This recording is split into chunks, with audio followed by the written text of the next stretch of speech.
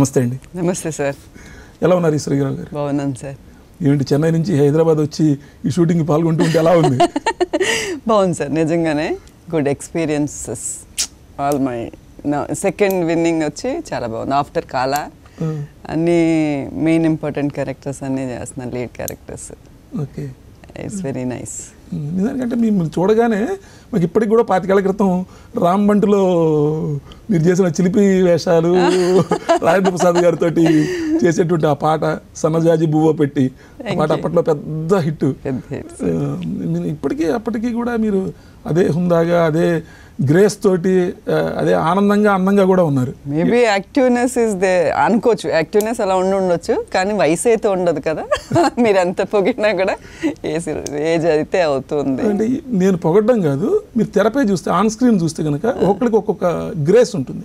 అది ఏజ్తో పాటు కొంత మారచ్చేమో కానండి ఆ గ్రేస్ని కంటిన్యూ చేయడం అనేది చాలా కష్టమైన విషయం.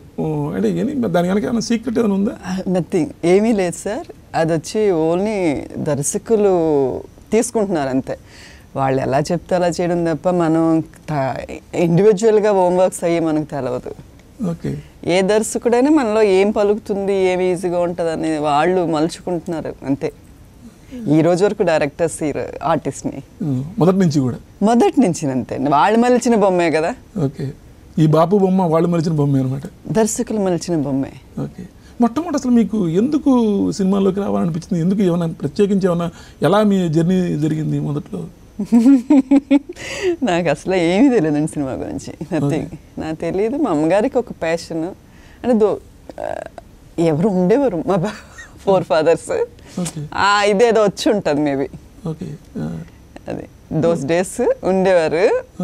అదేదో మా అమ్మగారికి కొంచెం అంటుకుని. ఆవిడే పుష్ చేశారు మిమ్మల్ని అంటే ఇప్పటివరకు తెలియదు జనానికి మా రిలే అదే మా ఫ్యామిలీ ఇది.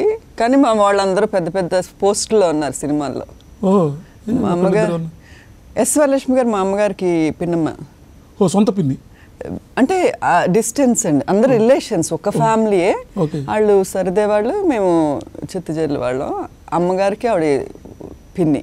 ఓకే అలాగే సిఎస్ రావు గారని సి పుల్లయ్య గారని వాళ్ళు చాలా మంది ఉన్నారు. అవును. వాళ్ళందరూ కూడా మా అమ్మగారి చిన్నాన్నలు పెద్దనాన్నలు అలాగా. ఓకే. అవునా మా మా అమ్మగారికి తాతగారి సైడ్ వీళ్ళందరూ రిలేషన్స్. ఓకే. అప్పటి నుంచి ఆ సినిమా గ్లామర్ మా ఫ్యామిలీలో వస్తుంది. ఎప్పుడంటే చిన్నప్పుడు ఏమైనా నేర్చుకోవడం కానీ ఏమన్నా? ఏమీ లేవు సార్. అస్సలు నాకు తెలియదు మా అమ్మగారికి మా ఫ్యామిలీలో మా ఫ్యామిలీలో ఎవరికి తెలియదు సినిమా గురించి. వాళ్ళు ఎప్పుడో ఉండేవారు వాళ్ళు వెళ్ళిపోయాక మాకు ఎవరో లేరు అది. అంతే మొట్టమొదటి మరి మీ ఆడిషన్ ఫస్ట్ ఆడిషన్ ఏమైనా గుర్తుంది అసలు? అప్పుడంటే ఇలాగ ఆడిషన్స్ కాదు కదా. ఏదో కెమెరా పట్టుకునేవారు అది నవ్వమనేవారు ఏడవమనేవారు ఏడుస్తూ నవ్వమనేవారు కైండ్ ఆఫ్ థింగ్స్ ఇలా టి రాజేంద్ర గారు బాలచంద్ర గారు భారత ఇవన్నీ అక్కడ. అంటే ఇక్కడ నాకు తెలుగు లేదు కదా ఫస్ట్ వెళ్ళడమే తమిళకి వెళ్ళాను. మీరు మద్రాసులోనే సెటిల్డ్ అప్పటికే?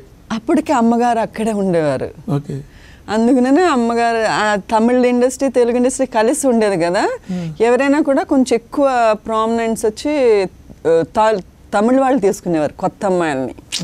టీనేజ్ వయసులోనే పదిహేను ఏళ్ళకి అప్పుడు హీరోయిన్ కదా? అవును రాధా మీరందరూ కూడా పదిహేను పదహారు ఏళ్ళకి హీరోయిన్స్.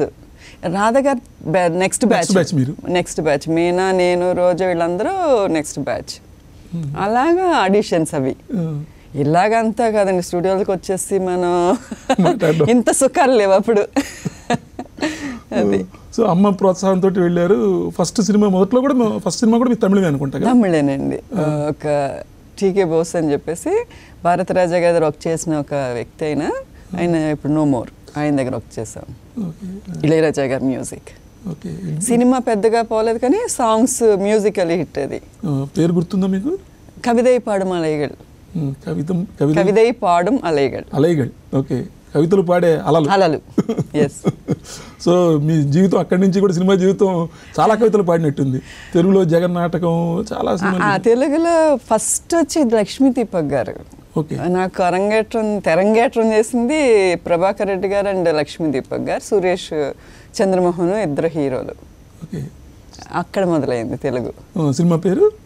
ఇంటింటి దీపావళి. ఇంటింటి దీపం ఆ, ఆయనే పేరు కూడా పెట్టారు. నాకు వైజయంతి అని పేరు పెట్టారు సార్ మన ఎవరు ప్రభాకర్ రెడ్డి గారు. ఆయన బ్యానర్లోంచి జయప్రద బ్యానర్ కదా అయింది జయప్రద ఆల్రెడీ పెట్టేస్తాను కదా ఆ జై నుంచి తీసుకుని వైజయంతి అని పెడతానని చెప్పేసి వైజయంతి అని పెట్టారు. ఆ పేరు వచ్చి సార్థకం అయిపోయింది. ఐ మీన్ స్క్రీన్ కాదు ఆన్ స్క్రీన్ కాదు ఆఫ్ స్క్రీన్ వచ్చి నా పేరు వైజయంతి. ఓకే. అది. ఇంట్లో అమ్మా నాన్నగారు పెట్టి ఈశ్వరి. ఈశ్వరి. ఈశ్వరి అండి. అదేమో ఇప్పుడు బాలు మహేంద్ర అని అది దుద్దు ఇది మనం పెట్టుకుందాం ఓన్ పేరు అని చెప్పేసరికి ఇది సినిమాకి ట్రెండ్ అయిపోయింది అదేమో నా పర్సనల్ అయిపోయింది. వైజయంతి అనేది.